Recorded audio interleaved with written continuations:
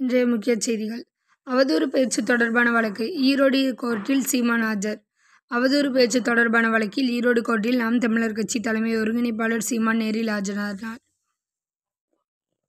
ஈரோடு கிழக்கு தொகுதி இடைத்தேர்தலில் போட்டியிட்ட நாம் தமிழர் கட்சியின் வேட்பாளர் மேனகா நவநீதனுக்கு ஆதரவு தெரிவித்து கடந்த பிப்ரவரி மாதம் பதிமூணாம் தேதி ஈரோடு திருநகர் காலனியில் பிரச்சார பொதுக்கூட்டம் நடந்தது.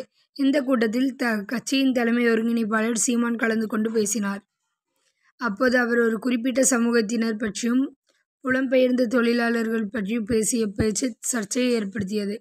இதையடுத்து குறிப்பிட்ட சமூகத்தினர் பற்றியும் புலம்பெயர்ந்த தொழிலாளர்களையும் அவதூறாக பேசியதாக சீமான் மீது எஸ்சி எஸ்சி எஸ்டி வன்கொடுமை தடுப்பு சட்டம் உள்பட மொத்த நாலு பிரிவுகளின் கீழ் கருங்கல்பாளையம் போலீசார் வழக்கு பதிவு செய்து விசாரணை நடத்தி வந்தனர்.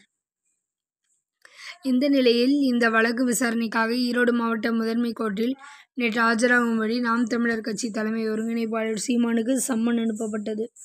அதன்படி நேற்று காலை பத்து முப்பது மணிக்கு ஈரோடு முதன்மை கோர்ட்டில் சீமான் நேரில் ஆஜரானார். அவருடைய வருகையை சரிபார்த்து நீதிபதி மாலதி வழக்கு விசாரணைக்காக மீண்டும் பிற்பகல் இரண்டு மணிக்கு மேல் வந்து ஆஜராகும்படி உத்தரவிட்டார். அதன்படி சீமான் மீண்டும் இரண்டரை மணிக்கு கோர்ட்டில் ஆஜரானார்.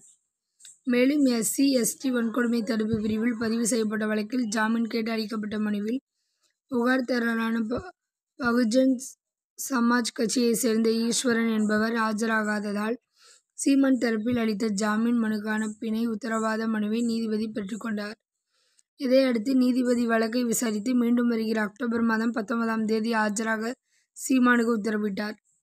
மேலும் இதே போல் வீடியோஸை நம்மளோட சேனலில் நீங்கள் பார்க்கணும்னு நினச்சிங்கன்னா மறக்காம நம்ம சேனலை சப்ஸ்கிரைப் பண்ணி கூட வர பெல் ஐகான் அழுத்தி போட்டுக்கோங்க.